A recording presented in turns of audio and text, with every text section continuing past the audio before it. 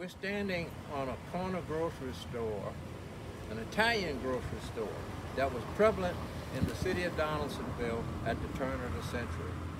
There were over 48 corner Italian grocery stores, almost one on every block that they had Italian grocery stores. And this is one of the surviving few.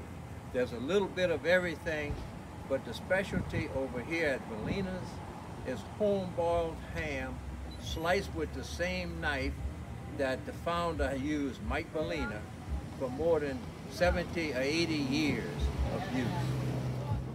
Well, my grandparents are from Italy. When he migrated here, uh, I think he was 12 years old, and he came in and they got some land on Highway 1, and they started uh, farming that land. And uh, they, like, what, 10 kids, I think they had, 10, 11 kids, and they farmed it, and they, they made their way, and uh, and uh, that's about, you know, that's how they did it. They, they farmed that land, and they made, they raised and uh, ate what they raised, and uh, they made a living like that, and truck farming too, you know. When my uh, my parents, they were they lived in Baton Rouge a while, but they but they moved over here. And they bought that store. Was a grocery store across the street. They bought it in 1944 when they went to business. There was a going grocery store then. They bought it from Joe Fontana, and they turned it and they took over from there in 1944.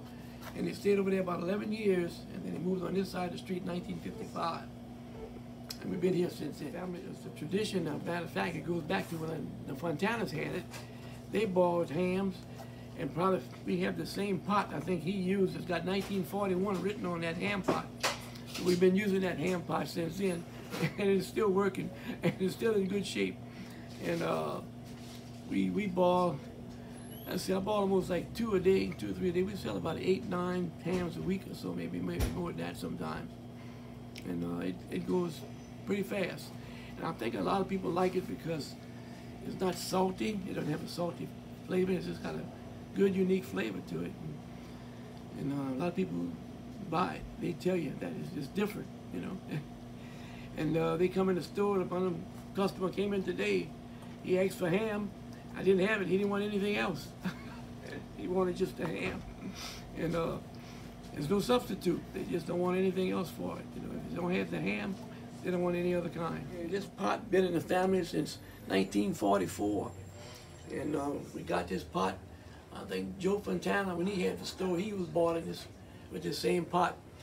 And we just continued and brought it on this side of the street in 1955. So we've been boiling ham over this. This is going to be my 78th year in business, the store, the grocery store. Yeah, almost 80 years we've been in business. I, I watched him do it and, and then watch him slice it. And I eventually tried it, my hand at it. And first time he told me, he told me, I was like I was building a garage, he told me. I was cutting the ham, kind of wasn't too uh, uniform like him. But I just learned over the years. I mean, I've been doing it since, uh, well, let's see, over over 30 something years now, maybe 40, close to 40. And uh, yeah, just just learn by doing, you know. See, it comes in already smoked, and we just put it in the pot and we boil it. And I boiled it for about uh, two and a half hours or so.